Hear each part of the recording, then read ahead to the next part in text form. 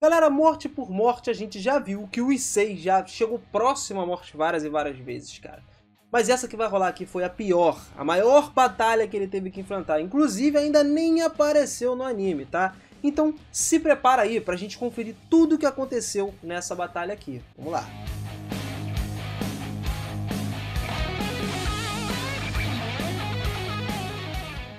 Fala seus otakus, beleza? Eu sou o Minas e sejam muito bem-vindos a mais um vídeo aqui do canal. Mesmo sendo um dos caras mais bravos do anime, o dono do Balance Breaker, que tem o de Drake, o dragão celestial, Cara, a gente sabe que o Issei também passa pelos seus lados ruins. Ele também tem todos os lados mais dramáticos, né? O lado de derrota, literalmente. E já chegou perto de morrer várias vezes. Isso é certo pra gente. Mas dessa vez, galera, foi uma coisa mais profunda do que a gente esperava. O Issei pode simplesmente ter partido dessa pra melhor, de verdade. E tudo isso vai ser explicado aqui pra você. Mas antes, não esquece, garante aquele like brabo e a sua inscrição também aqui no canal, que é muito importante para você sempre ficar ligado e receber direto as notificações dos vídeos aí na sua telinha e vir correndo assistir, hein? Vamos lá, vem comigo. A facção do herói, depois da sua derrota em Kyoto, se cansou de seguir os pedidos de Off, enquanto procurava usar o poder do Deus Dragão do Infinito para o seu próprio fim, trazendo um acordo com Hades para poder usar o Samael para obter o poder da Office. Vale também sabe disso através das suas próprias conexões e enviou a Office, já que ele tem um interesse aí no crescimento atual do Imperador Dragão Vermelho. Durante a celebração da promoção do Diabo de classe média lá de Rias Gremory, a facção heróica emboscou o clube de pesquisa oculta e também a Office, bem como Lefy e Pendragon que foram enviados por Bali para proteger eles lá também. Mas galera, Cal Cal e George emboscaram todo o grupo transportando eles, né, teletransportando eles para uma dimensão artificial com Jort liberando magia de fogo e Ops negando isso daí, né, mano? Então, Calcal tentou esfaquear ela para poder derrotar ela de fato com seus Loginos, mas porque ela era do infinito acabou não sofrendo nenhum dano. Nesse momento, Caio convoca Bali para poder se localizar ali, trocando com Vale e mandando Fenrir para luta contra outros membros da facção do herói.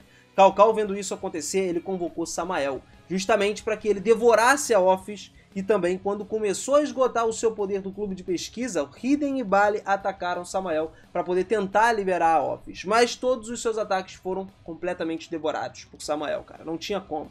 O Calcal revelou nesse momento o seu Balance Breaker, e ele usou um dos orbes para poder destruir a antiga Durandal de Xenóvia e depois desfez a orbe para poder formar como uma espada e esfaquear ela, né? cravar nela e acabar matando ela. Toda a turma enfurecida começaram a atacar Calcal, mas tudo que ele fez foi usar o outro orbe para poder selar os poderes da Rias, cara. Kuroko e Lefai também estavam tentando atacar ele, mas aí ele fez o quê? Usou outro orbe para poder teletransportar esse ataque. Ele também teletransportou a Kuroko e a Fai para perto da Ásia, que obrigou o Issei a usar o seu Sonic Pulse para poder interceptar ele de fazer isso, que acabou ferindo até ele com uma grande parte devido à armadura leve que ele tinha.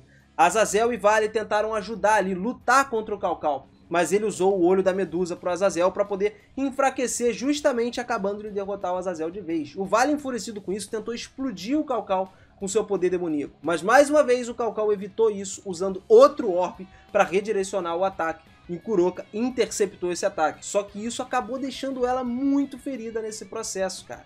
Isso não era algo que ela aguentava segurar. E ainda mais enfurecido, Vale não parou por aí, tentou outro ataque. Só que o problema é que dessa vez o Calcal usou o Samael para derrotar o Vale. Mas ainda assim não acabou, cara. O Vale tentou de tudo, tentou parar o Calcal usando as tropas de Cavaleiros do Dragão que ele tinha, mas o Calcal destruiu todas as tropas facilmente com os seus orbes. E quando George recuperou o poder de Office, o Calcal disse para os seus adversários que os Green Reapers começariam a chegar logo. E chegou o momento. Quando eles foram convocados, o grupo tentou lutar contra os Green Reapers. Lefai teletransportou a Xanova e Irina para que elas pudessem avisar as três facções restantes sobre essa situação que estava rolando. O Issei então usou os seus poderes para destruir o dispositivo de barreiras que estava localizado no teto. Junto com isso, os Green Reapers também, que estavam cercados com ele, se moviam em forma de luta, né? Queriam lutar contra ele do lado de fora do hotel. O Issei aumentou então os seus poderes quando Siegfried apareceu junto com os Green Reapers, que acabaram atacando o Issei mesmo que ele tenha acabado com eles facilmente. Pluton então se rebelou e enquanto o Azazel estava em batalha, né, enquanto ele estava lutando com Siegfried, que estava ganhando vantagem, trapaceando os seus cavaleiros dragão, ele colocou uma névoa para poder teleportar mais 300 Green Reapers para dentro da batalha, cara. Enquanto isso tudo estava acontecendo, o Issei usou um poder na Rias para poder restabelecer a aura dela, permitiu a ele usar o Blaster Bispo novamente, e ele usou para destruir todos os Green Reapers que estavam vindo. Depois disso, Shalba apareceu com o Leonardo e até forçou o Leonardo a usar um Balance Breaker temporário, instável para poder criar anti-monstros gigantescos que Shalba planejava lançar no mundo. A ativação do Balance Breaker acabou desestabilizando essa dimensão artificial que eles estavam aí. Uma vez que os membros da facção heróica têm o Leonardo de volta, eles pegaram o garoto e se teletransportaram. Shalva começou a atacar o vale nesse momento, e agora junto com Kuroka, todos estavam tentando se reunir para se teletransportar, com o Issei ficando para trás para derrotar o Shalva, cara. E ele queria recuperar a Office de todo jeito. O Issei, nesse momento, equipou sua promoção cardial carmesim usando para sobrecarregar a Shalva em seu desespero. Shalva acabou fazendo o quê? Usou uma flecha coberta com sangue de Samael, que originalmente tinha planejado para usar contra o Vale, justamente para derrotar o Issei que ele fez isso. E nesse momento, o Issei mesmo foi afetado pela maldição. Mas ainda assim, ele ainda tinha um momento que podia derrotar e matar o Shalva enquanto ele recuperava Office. Só que o veneno começou a se alastrar, o veneno de Samael era muito forte e começou a afetar ele mais severamente. Quando aparentemente ele morreu simplesmente morreu. O corpo dele foi completamente destruído. E enquanto o grupo de guias chorava a morte aparente do Issei, a última chama de esperança se acendeu, galera. Na realidade, a gente pode dizer que ele tinha sobrevivido, mas sem o corpo. Ele selou a sua alma aí em outra dimensão. E devido a essa maldição, o corpo dele ter sido destruído, o grupo dele meio que tentou de tudo obter respostas sobre a possibilidade dele estar vivo ou não. E visitaram a Juca Beelzebub, Enquanto eles estavam lá, eles também conheceram Siegfried e os restos da antiga facção dos demônios, que veio para dar uma oferta ao Ajuka para poder se unir à Brigada dos Demônios, à Brigada do Caos, e queria o seu poder de volta. Embora a princípio o Ajuka até parecesse interessado, ele rejeitou a proposta, mano. Ele não quis entrar. E isso deixou a galera enfurecida, todos os outros velhos demônios ficaram boladões e atacaram Juca. Só que isso não foi um problema, já que ele conseguiu facilmente usar a fórmula Kankara que ele tinha, que lhe permitiu controlar todos os poderes demoníacos que tentaram atacar nele. Depois disso, Yuto Kiba apareceu para desafiar o Siegfried. Era uma luta para tentar justamente matar o Siegfried e assim se vingar pelo seu companheiro Issei. O Siegfried então usou o doping especial que ele tinha para aumentar o seu poder do seu coração de dragão, que lhe permitiu suportar uma aura muito maior de camada de dragões de Grant. Mas enquanto ele sobrecarregava, o Yuto avançou e cortou o braço dele fora.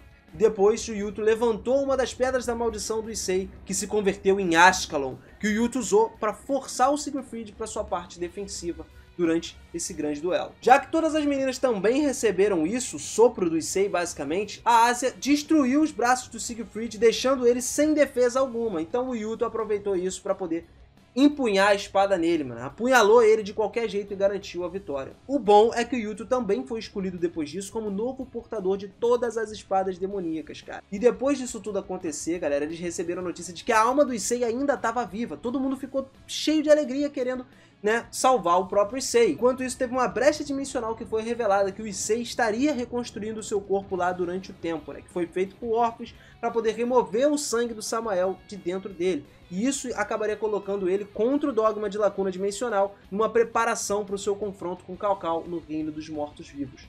Então a gente já sabe que vai rolar revanche.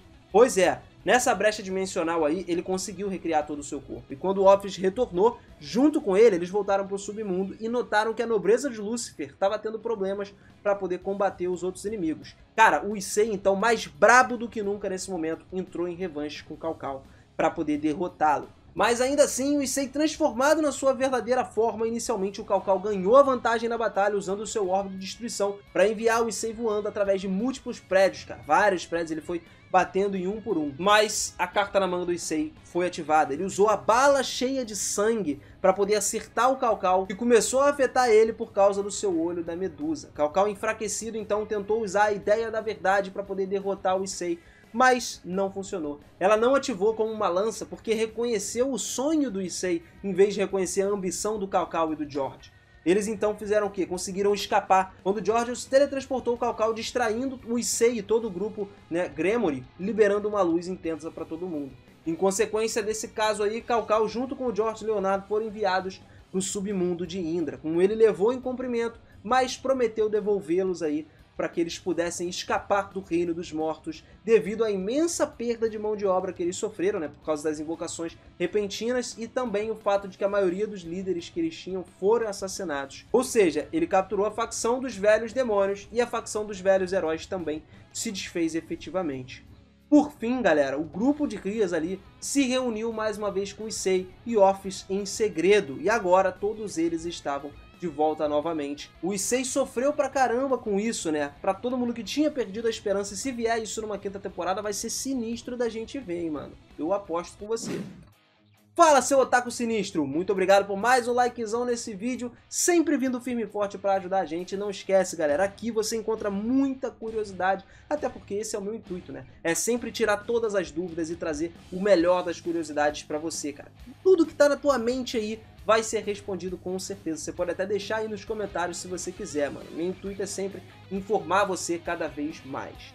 E me diz aí, mano, como é que tá o hype pra quinta temporada? Deve estar tá lá em cima, né, mano? Se chegar essa quinta aí, com certeza, eu tenho absoluta certeza que você vai assistir lá e vai se amarrar demais. Então agora, não pode deixar de se inscrever aqui no canal, mano. Se inscreve e ativa esse sininho pra ajudar essa comunidade aqui que tá crescendo cada vez mais e a gente tá conseguindo formar uma galera sinistra que tá sempre trocando ideia, sempre aqui interagindo o máximo possível. Vocês são brabos demais e eu agradeço demais por tudo isso que vocês fazem aqui pelo canal, hein? Valeu, galera. Um grande abraço para vocês e eu te espero lá no próximo vídeo. Até mais.